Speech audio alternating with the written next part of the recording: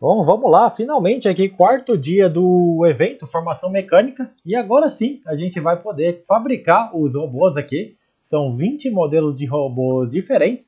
Eu criei aqui um infográfico, né, uma tabela de como fazer cada robô, bem fácil de entender aqui. Eu vou colocar no comentário fixado, vocês podem até baixar no celular de vocês para ficar bem fácil saber qual, como fazer cada robô.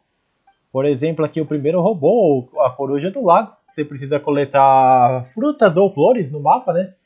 Ser é, atacado né, pelo elemento hidro, ser afetado pelo elemento hidro por 15 segundos. E depois derrotar um desses inimigos aqui. Dependendo do, do inimigo que você derrotar, você vai ganhar um cupom diferente. Cada cupom desse é, refere a um modelo diferente. Cada robô ele pode fazer três movimentos, rodopio, baile ou aéreo, né? Então são três robôs diferentes, exceto o último robô da lista, que é a coruja viajante. A coruja viajante você tem 20% de chance de fabricar a cada vez que você derrota os inimigos, né? E, e é afetado por, pelos elementos, né?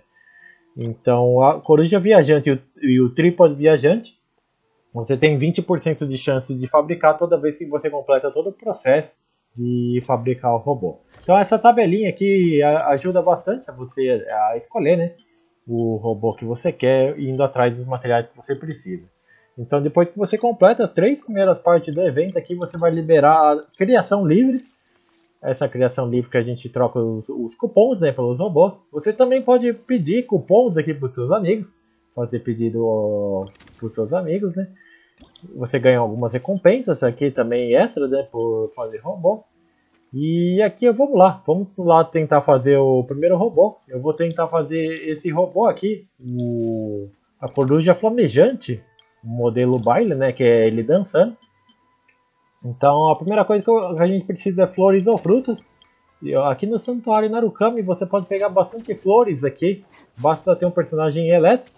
Você consegue pegar bastante flores, essas flores Sakura e a, a erva aqui, erva Naku. Você consegue pegar os seis, né? Você precisa de seis para completar a primeira etapa aqui da, dessa missão. E agora a segunda parte você vai ter que ser afetado pelo elemento, né? Correspondente ao robô que você quer. Como eu quero o robô Pyro, né? Então eu vim aqui no Hipotase Spyro e é só deixar ele se, é, te atacar você vai ser afetado por paro e aguarda carregar né, o, o coletor aqui 15 segundos.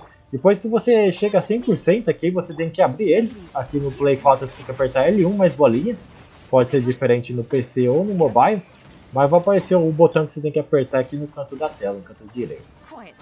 E finalmente aqui no, na última parte você tem que derrotar Slime, é, Spectro ou um boss, né?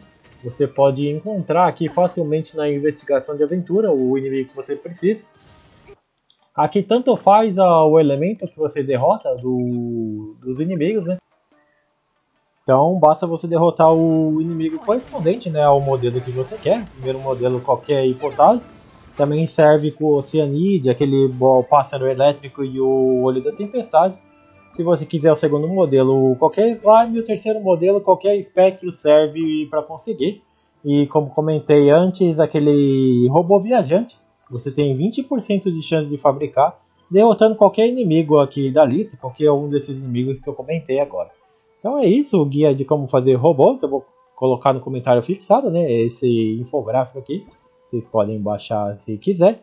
E não deixem de compartilhar o, esse vídeo e logo em breve vai, eu vou trazer também um resumo da live e os códigos de resgate, 300 gemas grátis da, do, do novo update, né? Todas as informações, todas as novidades do novo update 2.8, então fique ligado no canal e se inscreve se não é inscrito ainda. Até o próximo vídeo, foi!